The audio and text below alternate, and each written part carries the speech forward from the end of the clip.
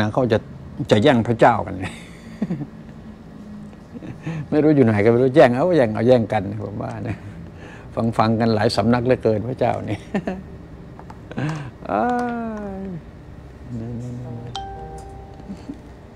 ฟังพระเจ้าแล้วก็ ฟังหลายสำนัก นึกซะว่าฟังหูไว้หูก็แล้วกันพี่ อย่าคิดมากแม้กระทั่งลุงออกเล่าให้ฟังก็เหมือนกัน ฟังหูไว้หูก็แล้วกันนะ อย่าไปจริงจังกับพระเจ้านะ สิ่งที่อยากจะให้จริงจังนะในชีวิตประจำวันคือการประกอบอาชีพนะครับนะนะนะนะนะยังไงก็สู้ประกอบอาชีพไม่ได้หรอกครับ ผมว่านะ จริงๆเนี่ยพระเจ้าก็ช่วยไม่ได้หรอก นะจริง ๆ นะ บอกไว้ให้รู้ล่วงหน้าก่อน ยังไงยังไงพระเจ้าก็ช่วย ทางด้านการประกอบอาชีพไม่ได้หรอกโอเคไหมถ้ารู้พระเจ้าซะบ้างอะ มันจะดีตรงไหนทีเนี้ยถ้าจะรู้นะ มันมันใช้ประโยชน์พระเจ้าได้ตรงไหนดีกว่า ดีไหมแล้วมาขึ้นต้นนี้ดีกว่ามาถามว่าพระเจ้ามีมีจริงไหมนะครับคำว่าพระเจ้า พระเจ้า พระผู้เป็นเจ้า พระผู้เป็นเจ้านะครับ มีจริงไหม ถ้าถามลุงนะ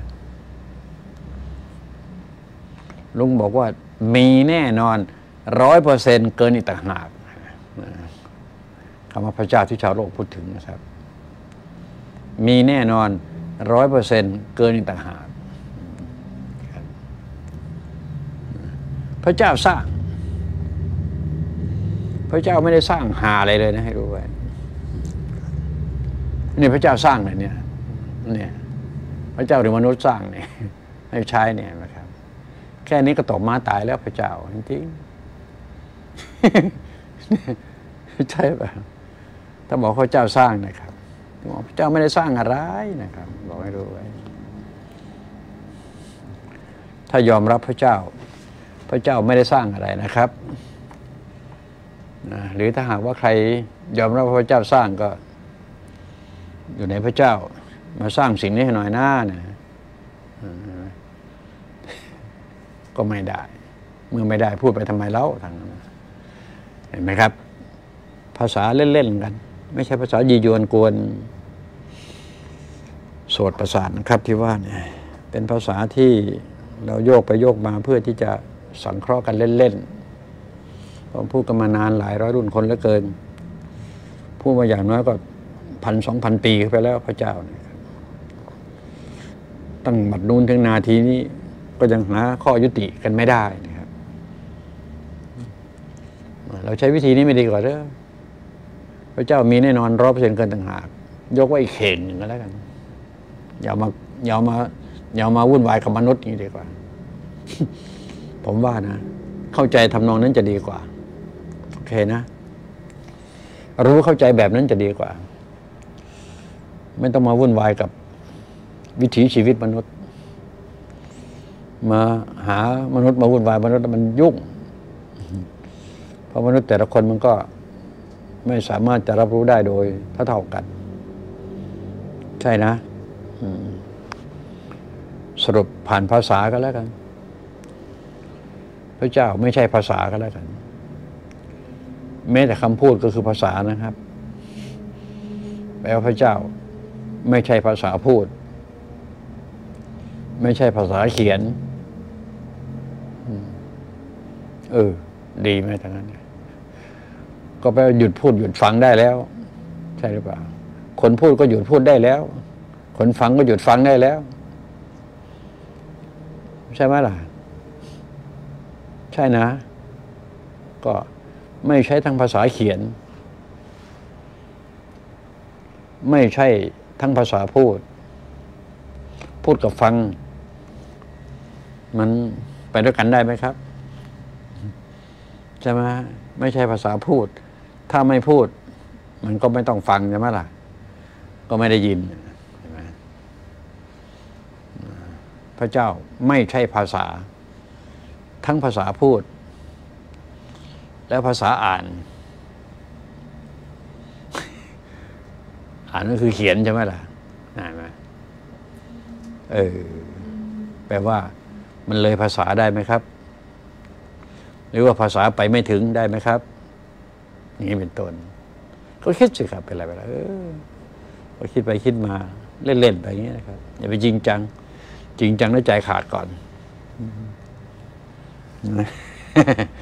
หรือว่าไงผมว่ากันนะลุงว่ากันนะเพ่ถ้าถามลุงว่ามีไหมมีแน่นอน ร้อยเปอร์เซ็นต์เกินต่างหากบอกแล้วกันก็บอกพระเจ้าไม่ได้สร้างอะไร ถ้าสร้างแล้วก็บอกมาแค่นี้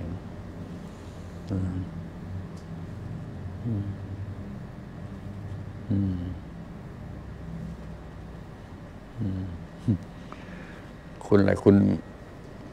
คุณอ้วนเหรอใช่ป่ะ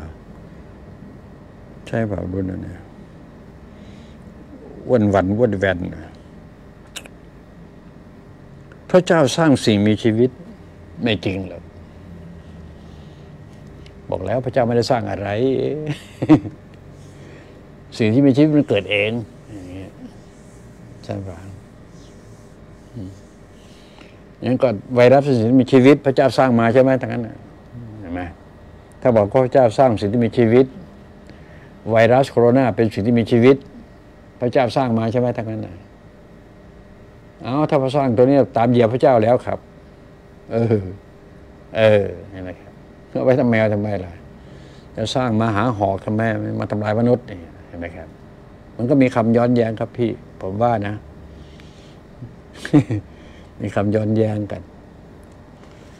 ใช่นะนะครับ ลองใคร่ครวญครับเรื่องนี้มาแชร์กันมาแชร์กันแชร์ทีละน้อยสองน้อย ลุงไม่เปลี่ยนคำพูดนะ มีแน่นอนร้อยเปอร์เซ็นต์เกินต่างหากพระเจ้านะใช่ไหมอยู่ยังไงพระเจ้า ก็อยู่อิสระเถอะ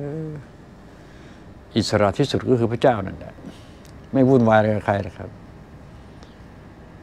มีแต่พระมีแต่มนุษย์ต่างหากที่ไปวุ่นวายกับพระเจ้าไปให้สัญลักษณ์พระเจ้าไปต่างๆนานา นะทั้งที่พระเจ้าไม่รู้เรื่องนี้หน่วยเหน่เลยเดียวว่าเนี่ยมีแต่มนุษย์นั่นแหละ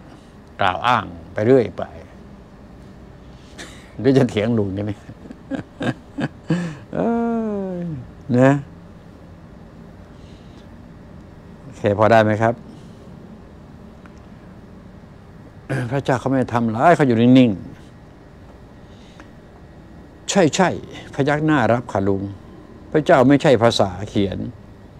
ภาษาอ่าน พระเจ้านั้น ภาษาไปถึงจริง ๆ ค่ะ ภาษาไปถึงจริง ๆ ค่ะนี่จำมาละเอาล่ะเราโยกเล่นไปมาเฉยครับ ภาษาเราโยกโยกภาษาไปมาเฉยๆไม่ใช่มา ใช้ภาษาไม่ใช่ลุง ไม่ใช่ภาษา ก่อกวนนะครับ เราโยกไปโยกมาดูซิมันร่อน รู้จักคำว่าร่อน รู้จักฮอนบอฮอนเข่าฮอนเข่าร่อน รู้จักฮอนบอร่อน รู้จักร่อนไหมร่อนนะหวังว่าจะคงเข้าใจคำว่าร่อนนะร่อน เครื่องร่อน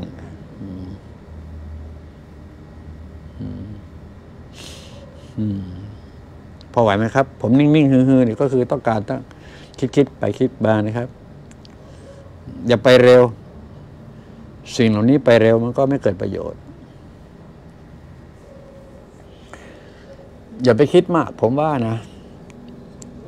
คำว่าพระเจ้ามันคือภาษา ความหมายภาษาของคำว่าพระเจ้าหรือกอดเนี่ยฮะตีแตกตัดตรงเลยครับ คือสิ่งที่บริสุทธิ์นั่นเองครับ สิ่งที่บริสุทธิ์ มีอะไรที่มันเกินกว่าบริสุทธิ์ไหมครับ ภาษามนุษย์ที่ใช้กันคำว่าบริสุทธิ์มันให้ความหมายถึงอะไรครับ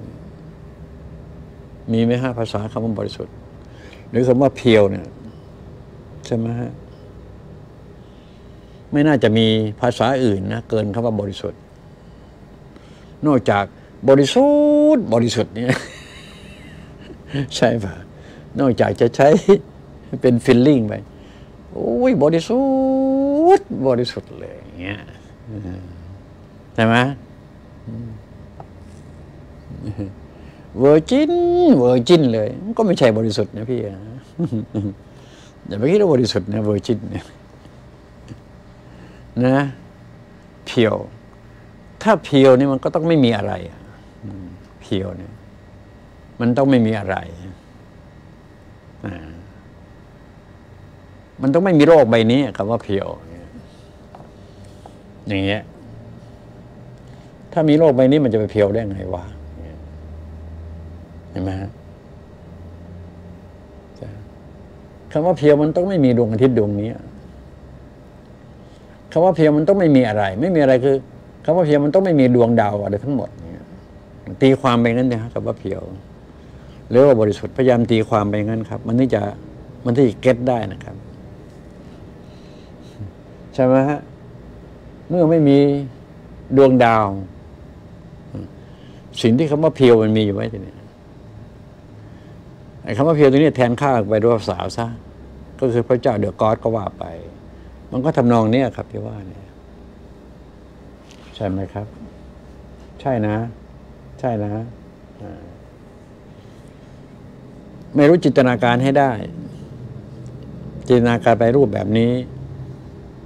ไม่ดีกว่าเลยใช่ไหมเสร็จแล้วบอกว่าทุกสรรพสิ่ง เกิดขึ้นมาในท่ามกลางของพระเจ้าอย่างเงี้ยเข้าใจงี้ไม่ดีกว่าเลยที่ลุงบอกว่าพระเจ้ามีแน่นอนร้อยเปอร์เซ็นเกินต่างหากทุกสรรพสิ่งเกิดมาอยู่ในท่ามกลางของพระเจ้าเห็นไหมโลกใบนี้เกิดมาในท่ามกลางของพระเจ้า เราเกิดมาอยู่ในโลกใบนี้ แปลว่า เราไม่ได้เกิดมาในท่ามกลางของพระเจ้านะ อ่า อืมพวกเราเกิดมาอยู่ในท่ามกลางของอากาศเนี่ยงั้นอากาศไม่ใช่พระเจ้าใช่ไหมนะไม่งงนะ ไม่งงนะ โลกใบนี้ประกอบไปด้วยพื้นดินของแข็ง พื้นน้ำของเหลวก๊าซหรืออากาศ ใช่นะ ใช่นะ แค่นี้พอไหมครับ น่าจะพอนะน่าจะพอนะเอาไม่พอก็ได้ เป็นความร้อนก็ยังพอไหวครับ น่าจะพอตรงนี้น่าจะดีกว่าอันโลกนี้เกิดมาอยู่ในท่ามกลางของสิ่งที่บริสุทธิ์ก็คือสิ่งที่เรียกว่าพระเจ้านั่นเอง เราท่านเกิดมาอยู่ในโลก เพราะฉะนั้นจึงไม่ได้เกิดมา จึงไม่ใช่พระเจ้าสร้างนะครับอะไรอย่างพอพอคิดได้ไหมครับที่ว่าเนี่ย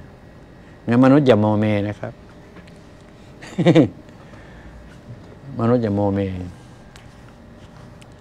ครับ ผมว่างั้นนะ พอได้ไหมครับ ความคิดพื้นๆแบบลุงออก ภาษากิ๊กก๊อกเนี่ยพอจะ get into บ้างไหมครับเนี่ยเพราะว่าพูดกันมาหลาย ร้อยหลายพันปีกันได้เจอเกินที่ว่าเนี่ยทุกวันนี้ยังพูดไม่มีจุดจบ แล้วต่อไปอีกไม่ถ้ากับเท่าไหร่ก็ไม่รู้ มารู้สวรรค์นี้ฮะอืม มารู้สวรรค์เนี้ยใช่ไหมครับ ใช่ไหมฮะ รู้กันแบบลุงๆที่เราสู้กันฟังใช่ไหมจะรู้ได้ยังไงทีนี้ครับ ก็ก็ยังว่าเนี่ยครับเอาละฟังดีนะทีนี้นะ ถ้าบอกว่าความร้อนคือพระเจ้าได้ไหมครับ ธาตุดินธาตุน้ำธาตุลมธาตุไฟคือความร้อน ความร้อนคือพระเจ้าได้ไหมครับ หรือว่าความร้อนก็เป็นอยู่ในท่ามกลางของพระเจ้าอีกแหละอย่างเงี้ยที่บอกว่าดวงอาทิตย์มันเป็นความร้อนใช่ไหมล่ะก็อยู่ในท่ามกลางของพระเจ้าอีกแหละอะเอาไงต่อ ทีนี้พระเจ้ากับเราทีนี้ มีความสัมพันธ์ยังไงกัน หรือพระเจ้ากับโลกใบนี้มีความสัมพันธ์ยังไงพระเจ้ากับดวงอาทิตย์มีความสัมพันธ์ยังไงตัวนี้ครับ เออ ตรงนี้น่าคิดใช่ไหมฟังให้ดีนะ ตรงนี้สำคัญนะ พระเจ้ากับโลก มีความสัมพันธ์กันอย่างไร พระเจ้าอยู่ตรงไหนของโลกใบนี้สุดท้ายแล้ว เออ เออพระพระเจ้าไม่ได้สร้างแงอย่างนั้นก็ไม่ยอมรับอยู่แล้วลุงเนี่ยจริงพระเจ้าให้ชีวิตได้ไหมพระเจ้าไม่ได้สร้างชีวิตนะ แต่พระเจ้าให้ชีวิตดำรงดำเนินต่อไปได้อย่างเงี้ยลองคิดเล่นๆเลยครับ เอ้ยเป็นไรไปแล้วคิดไปคิดมาอย่าเอคำตอบไวนักพี่ก็ โอ้ เอาคำตอบไวจนเกินไปมันก็เดี๋ยวก็ทะเลาะกันอีกแหละพระเจ้าไม่ได้สร้างชีวิต แต่ชีวิต แต่ดำรงอยู่ได้ จะเดินต่อได้ พลังอำนาจของพระเจ้า ได้ไหมครับ สรุปแล้วพระเจ้าคืออะไรทีนี้เอาเห็นไหมเออ พระเจ้าคืออะไร ลุงก็พูดอยู่คำเดียวแล้ว พระเจ้าคือพลังงานแหละครับ พลังงานอะไรที่ว่าเนี่ย พลังงานแสงนไหมแสงสว่างคือพระเจ้าไม่แล้วไหมพลังงานเสียง พลังงานความร้อน พลังงานแม่เหล็ก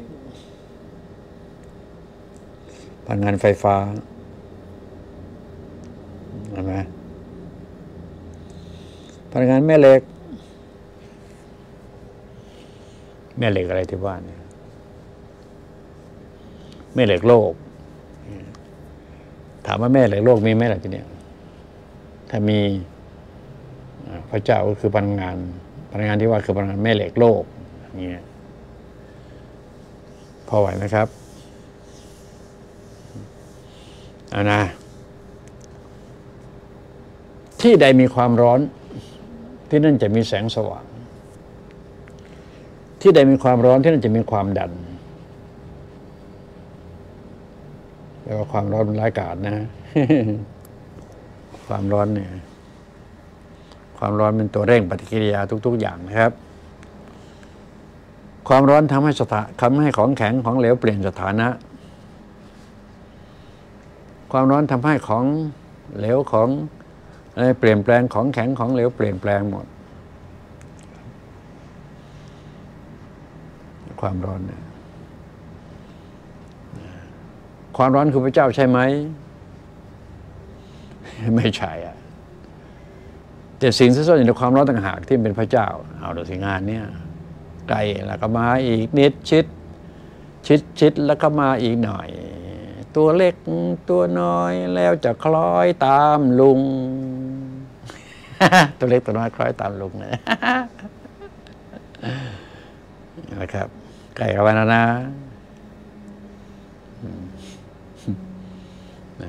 ยืนอีกครั้งหนึ่งว่า พระเจ้าไม่ได้สร้างนะครับนะนะถ้าจะยอมรับพระเจ้า ลุงบอกว่ามีแน่นอนร้อยเปอร์เซ็นต์เกินเตยเกินอีกต่างหากนะครับ อย่าไปไกลไปกว่านั้นจะได้ครับ พระเจ้านั้นซ่อนซ้อนอยู่ในทุกสรรพสิ่ง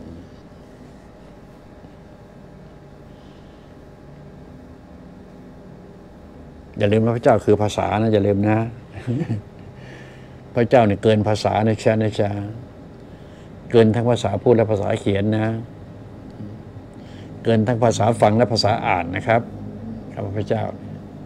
อย่าลืมตรงนี้เป็นขาดนะครับอย่ามาติดภาษานะครับ ติดภาษาแล้วยุ่งเลยนะ ติดภาษาไปต่อไม่ได้นะ มันต้องเลยภาษานะครับ จึงจะไปต่อได้นะครับ เลยภาษาก็ต้องมีความรู้สึกอย่างเดียวเท่านั้นเองนะครับ ที่จะบอกว่าพระเจ้านั้นมีจริงร้อยเปอร์เซ็นต์เกินต่างหากนะครับ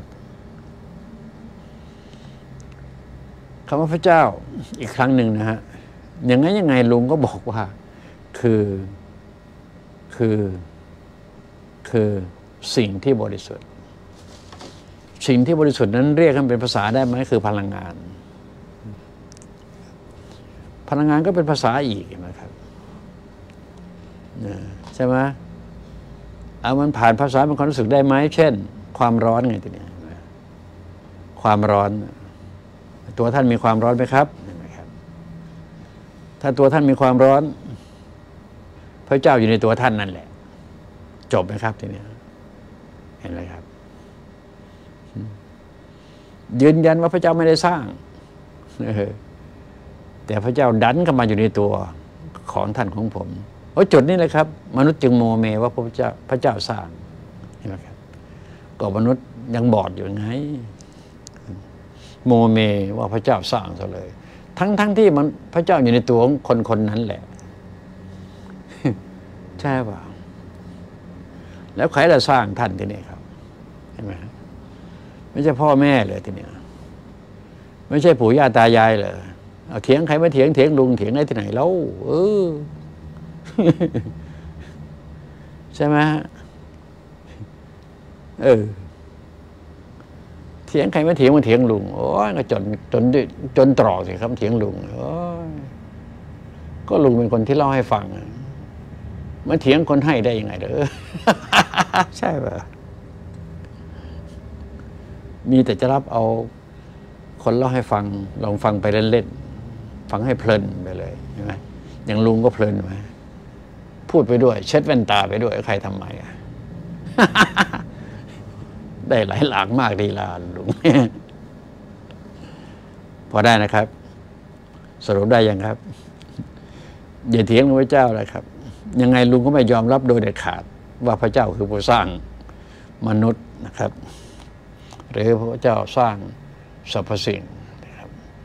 แต่ยอมรับแน่นอนว่าพระเจ้าอยู่ในมนุษย์อยู่ในสรรพสิ่งนี่ยอมรับร้อยเปอร์เซ็นต์นะครับนะนะแล้วก็ปกป้องคุ้มครองสรรพสิ่ง ปกป้องคุ้มครองสรรพสิ่ง ปกป้องคุ้มครองมนุษย์นะครับ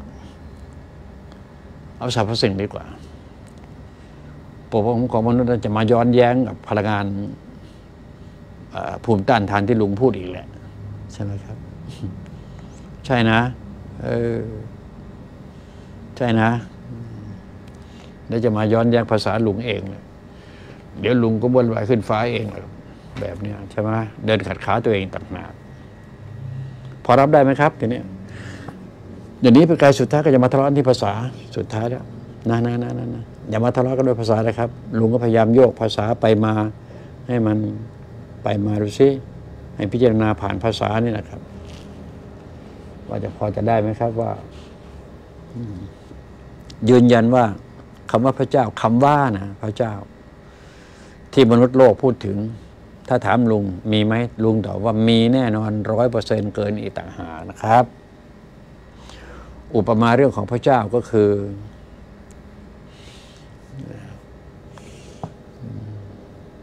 มันมีอยู่แล้วคือสิ่งบริสุทธิ์นะครับ สิ่งบริสุทธิ์คือมันมันไม่ใช่อะไร มันไม่คืออะไร มันไม่เป็นอะไร ไม่มีไม่มีสี ไม่มีเสียง ไม่มีกลิ่น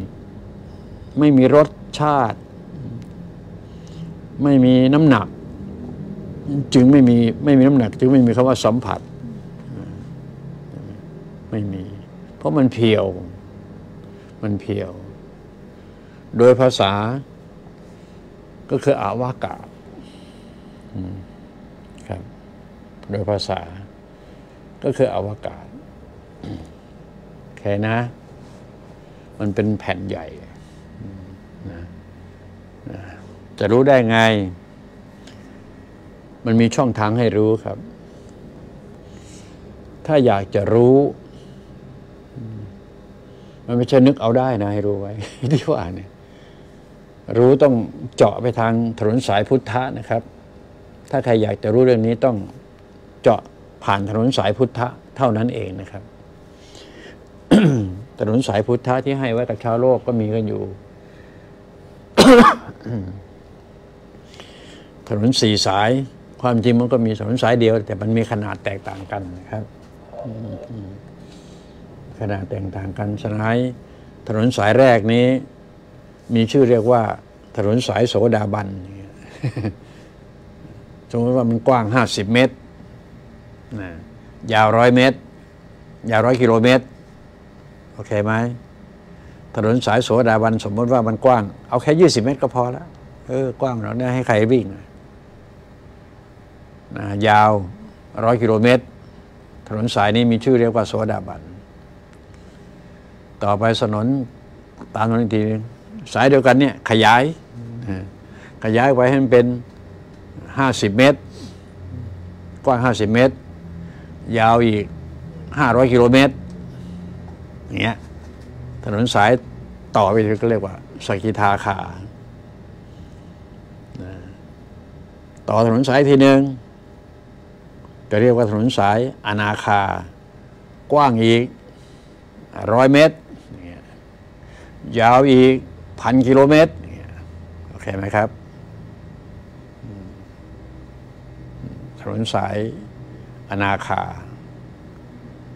ต่อไปก็ถนนสายอรหันต์เนี่ยครับฟังกันดีนะถนนสายนี้สำคัญนะชนจะไปชนสนือพระเจ้าที่ว่าไว้ดูไว้ถนนสายอรหันต์กว้าง เอากี่เมตรเดียว เมื่อกี้ในร้อยเมตรใช่ไหมล่ะ กว้างห้าร้อยเมตรก็แล้วกัน ยาวทีนี้ครับ infinity เห็นไหมชนไหนเลยทะลุอากาศแล้วครับ ไปสู่อวกาศแล้วครับ เห็นไหมถนนสายอรหันต์ไปชนไปชนกับคำว่าพระเจ้านั่นเองครับ แต่กลุ่มสาธุจะเรียกว่าพระธรรมนะครับ กลุ่มสาธุจะเรียกว่าพระธรรมนะครับ ที่พระพุทธเจ้าคนพบนั่นเอง พระธรรม พระพุทธพระธรรมนั่นเองนะครับ เพราะฉะนั้นถนนสายนี้มีแต่พระอรหันต์ท่านจะถึงตรงนั้นได้นะครับ โอเคไหม เพราะฉะนั้นมันก็จะไปชนกันกับคำว่าพระเจ้าที่ชาวโลกพูดถึง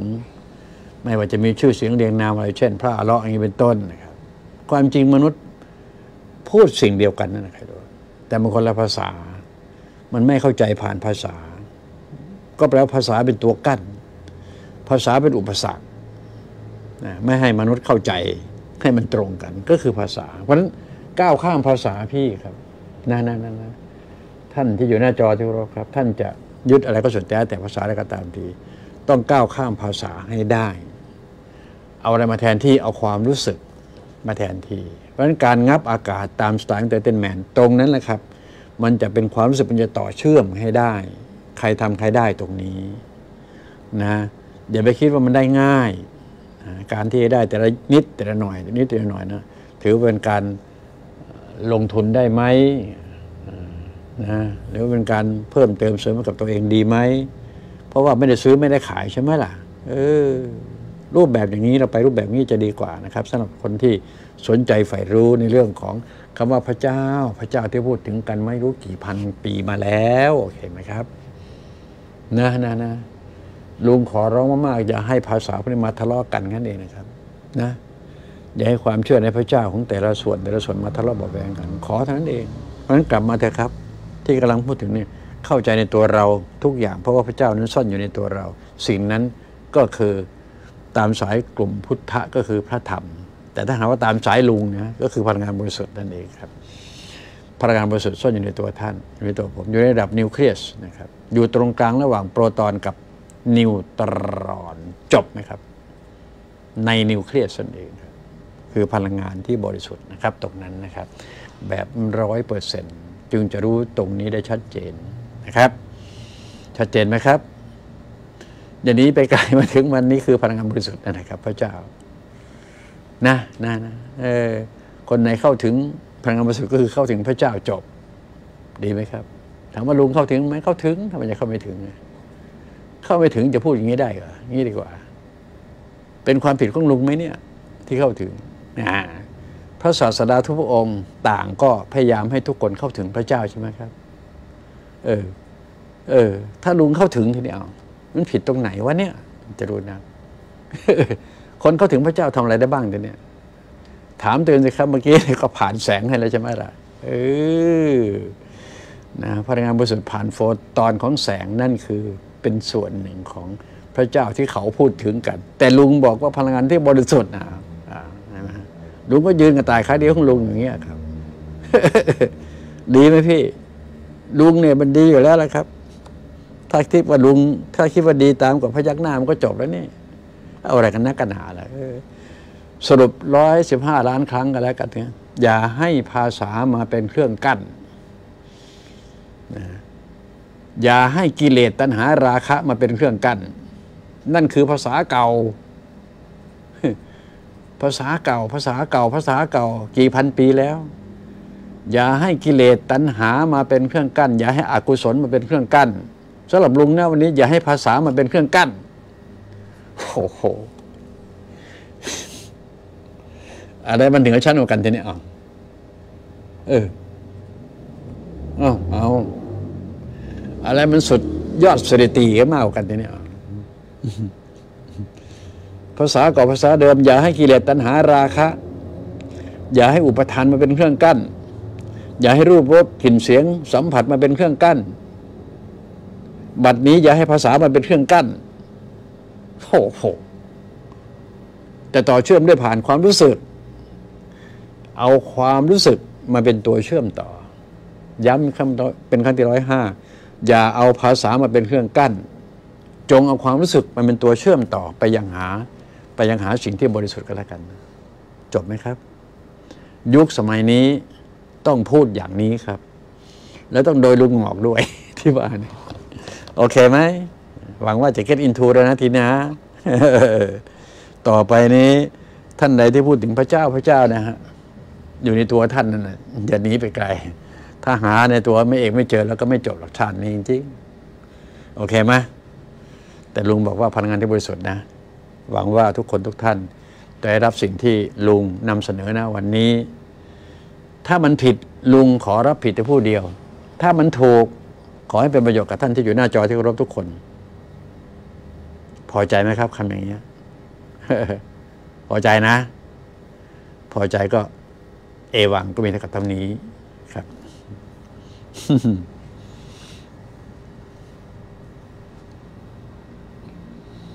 นะ